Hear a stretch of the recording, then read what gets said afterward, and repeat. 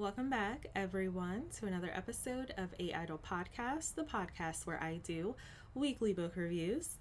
This week I read Black in Blue by Carmen Best, who is formerly the chief of police for the Seattle Police Department. Now, she describes herself as a proud black voice who speaks of the thin blue line, so you know what to expect with this book. It was released in 2021 under HarperCollins leadership and it is a nonfiction piece that details her experience as the first black woman chief of Seattle PD. Now, this book is pretty short, it's 175 pages. It starts out with the acknowledgments, which typically is at like the end of the book. And uniquely enough, this does have an introduction and a prologue, which I thought was odd for a nonfiction piece, especially.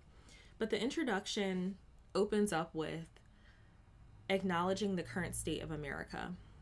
And when I say the current state, we're probably thinking more like 2020, 2021 ish. So there includes commentary immediately on police brutality, racism, and sexism. So that highlights her, I guess, position, you could say, as a black woman in America during 2020 who is also leading a police department. And for context, that period of time, not only was it stressful because of the pandemic, there was a heightened awareness of police brutality. Mainly, I think, because a lot of people um, were, you know, quarantined at home, and so there was more uh, tension on these police brutality cases, which we're going to touch on. But that posed a very difficult, um, difficult few months for anyone in law enforcement and particularly those in leadership positions. Now, what this does is it kind of underlines the idea of intersectionality. And I've talked about this in the past, and there's a few more books that I'm going to cover um, in the next coming months that will talk about this as well. But intersectionality is essentially when two groups of um, marginalized people overlap. So, for example, being a black woman, you are black and you are also a woman. So, you share the experiences of sexism as well as racism.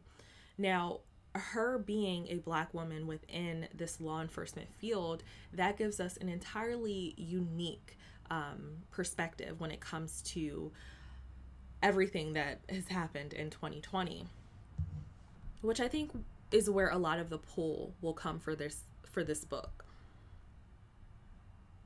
Now, the prologue um, opened up framing the events surrounding her, kind of surrounding her appointment to be the permanent chief of police. So, when the prologue opens, she is the acting uh, chief of police and they release the list of you know the top three candidates and she is not on it so that kind of pulls the readers in because we're trying to understand okay how did you jump from this to being you know the permanent chief um, but it also kind of, you know, sets the tone that this is going to be a serious read. Not necessarily depressing or tough or anything like that, but it starts out with her not meeting this goal, you know. Okay, and with the physical structure, there are seven chapters. Each chapter is followed by a tactical debrief, which is usually one to two pages, and it's essentially just a summary of um, the chapter preceding it. And it, it just wraps up, you know, her thoughts. But there also can be questions, and I think usually it's like three three or four questions that she asked the audience, which is kind of like a call to action um, relating to the discussion that she had in the chapter and we're going to touch on that towards the end as well. Now, this book is unique and it's kind of reflective of both the introduction and the prologue because, in my opinion, I see prologues as an opening for like a fiction piece or something, or like a, a mystery thriller, whereas an introduction is something that just kind of gives you an idea of what we're going to be talking about mostly in nonfic books. And what I picked up on is there's kind of two styles of writing here. So the first is her reflection on her childhood. which is not uncommon for uh, people of leadership positions or um, celebrity status when they write these books they talk about their childhood because it directly relates to the decisions that they make in adulthood. So what we see is that she uses a lot of her memories to relate to her professional and adult challenges mostly revolving around you know racism and and tough uh, situations. And it goes to show that the racism that she experiences as an adult they kind of reflect her time as a child. Of course the situations change um, which is kind of sad because we're talking like you know a few decades in between that. But she also does discuss the function of childhood environments in breeding racism but also in breeding reactions to racism. So with her obviously a lot of her reflection is her acknowledging how she dealt with microaggressions and things like that.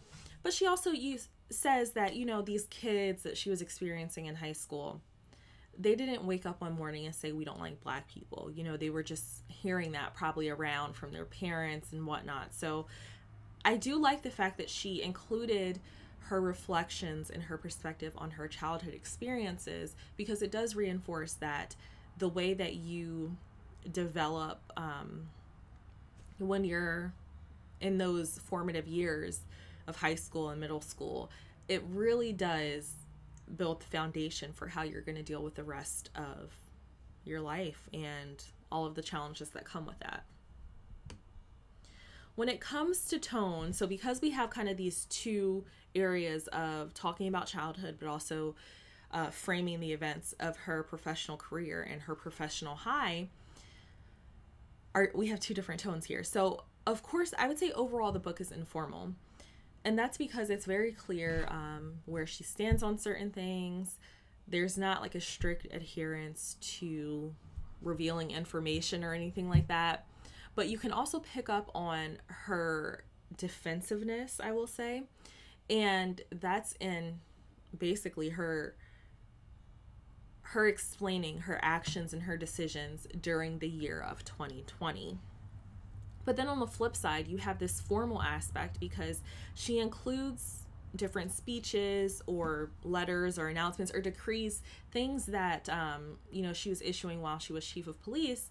She includes that, and then she kind of you know the chapter will be explaining you know what she was what her thought process was. So I actually really enjoy that. I like when uh, authors bring in outside information, especially stuff like you know her her um her speeches during her occupying the the chief of police position because you kind of get to pull the curtain back and understand what was going on behind the scenes while she was you know issuing these words so we kind of toggle back and forth between her actually talking and it feels like she's having a conversation with you and then she pulls in these formal documents. So i think that we have a great balance of each of those um, influences. And she herself points out she herself points out the dichotomy of being a black mother but also being the chief of police but also and this is something that she distinctly made in the introduction being a believer of law and order and Black Lives Matter. So we understand exactly where her, not necessarily alliance or allegiance, but we know how she feels about both of these polarizing topics that sometimes it feels like either side is making you say, okay, one or the other. You can't be both. You can't believe in both. Okay. A couple of themes here. So the first being police brutality. So there's this career parallel where she began her career in law enforcement in 1992, which was when the Rodney King incident happened.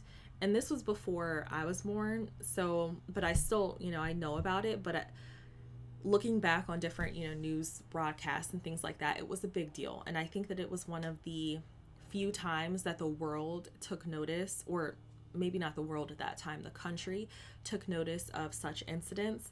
It's not like that was the only, you know, instance of police brutality in history, but that was one that really captured a lot of people's attention.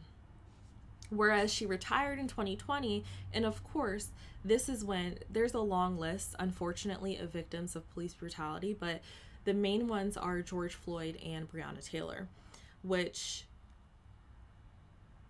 honestly, it's kind of sad that like she started and ended her career and the same thing is happening, but it indicates a stagnation when it comes to I guess law enforcement or or public opinion of it because everyone in 1992 was like, wow, that's sad, that's horrible, that's terrible. And it's like we're dealing with the same thing. So I think that you can track her personal stake when it comes to her law enforcement career because she kind of has this thing and anyone i think in public service is thinking that i'm going to be a part of the change for a better world. So it was just interesting that her career happened to align with those um, significant incidents. Now with 2020 it was different because of the pandemic everyone was essentially home and quarantining or whatever and life wasn't normal anymore. And so when these instances happened it was like it kind of just blew up. It sparked the the flame of unrest throughout the entire world. And so there were worldwide protests that were calling for reform.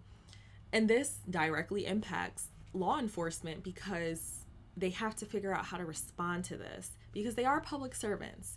Um, but it's it's an interesting perspective to have of a police officer during this time period because I've never really sat and talked to a police officer about you know how the pressures that this puts on them when it comes to these instances, you know, just going viral and and pissing people off essentially and and sparking all different types of debates. But particularly for the leadership, how they're going to handle this because now instances that are happening around the world are being reflected in protests outside of your headquarters, whether you were involved or not, whether this incident happened in your police department or not, now you're going to face the consequences. So that was a perspective I think I needed when it comes to law enforcement and how they deal with, you know, the protest and um, just accountability. But that was certainly a reoccurring theme here is just the response to 2020 as a whole. And then last theme, the fight or flight flight or fight approach. I don't know which one comes first, but basically the idea of how you approach hardships. So, Mrs. Best is very interesting in that I would say she doesn't really fall into either category because she doesn't flee, but she doesn't antagonize or she's not ever the aggressor when she is approached with tough situations or tough problems, according to this book at least. Um, she does harp on situational leadership a lot, and that's just understanding how to best use your resources, whether that be your staff, your training, your protocols, to receive the best outcome. But specifically in the face of microaggressions, she never really takes it personally, but she doesn't let it hinder, you know, her her day, her ability, you know, her confidence. And so that was also in itself a unique perspective because being on the receiving end of certain microaggressions, it kind of pisses me off and personally my response is just to um yeah, just leave that person alone. I don't really need to talk to you anymore. Um and she kind of has a similar approach, but she's also someone that's not going to be pushed out of a certain space because of who she is. One incident that highlighted her approach was when she, um, in high school, she went to a party and they she clearly was not welcome her or her other black friend and her initial reaction was just to leave you know? Why do we have to disrupt the flow of things? And her friends kind of deciding that they were going to take a stand, she reflects on how that was the best decision because she wasn't going to be um, influenced to what's the word I'm looking for? Make her existence disappear, if that makes any sense. But you also have to keep in mind things obviously change as we get older, but a lot of professional environments, they don't allow for any type of retaliation. So when you're dealing with these instances of microaggressions and racism, especially if you're in law enforcement, I can only imagine you're not it's never going to be in your best interest to really kind of I guess choose the fight option because and not physically fight, but you know, even if that means like an argument or whatever may have you, you're not really ever going to get anywhere in a professional environment because if the the leadership if they don't acknowledge, you know, the provoking, if they don't acknowledge the racism that you're dealing with, then they're going to see your response as something outlandish and extreme. So which is really tough. That's really that's a really tough position to be in to just have to take that, you know, in order to keep your job, but and she didn't really that was one thing I didn't really like about the book cuz she never really discussed anything like that when it came to her profession. It was always kind of alluded to the fact that she's dealt with racism, she's dealt with microaggressions outside of her workplace and kind of left it at that. So Okay, a couple highlights before I hit the review. So, there were a few things that I did not, I wasn't really aware of, including CHOP, C H O P, which was the Capitol Hill occupied protests that were happening in Seattle. There was CHAZ, C H A Z, which is which was the Capitol Hill Autonomous Zone. The consent decree, which is guidelines to promote police integrity of course, there was defund the police. For those of you that don't know, it's just the movement calling for um, reducing police funding in a di- direct response to police brutality. The Black Lives Matter movement was mentioned a few times, and it's the movement to increase awareness of the Black victims of racism and police brutality. And then lastly, collaborative policing and that's just working amongst everyone in charge whether that be the city council the state government you know etc in order to police the citizens and kind of just redistributing that um, um, responsibility so some of those topics i wasn't very familiar with um, but those were certainly the highlights here of this book now so for my review so this was a short book short um short review here so I personally did not enjoy the structure or the style of the book. I would have structured it a little differently. I would have I really enjoyed when she included her um documentation, her speeches, whatever may have you, and she kind of further analyzed the thinking behind that. I thought the whole book should have been that. Like every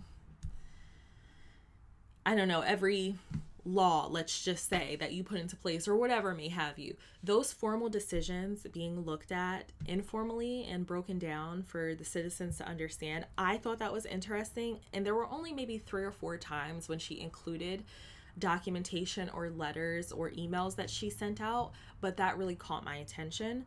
Um, I think that's what the tactical debrief should have been.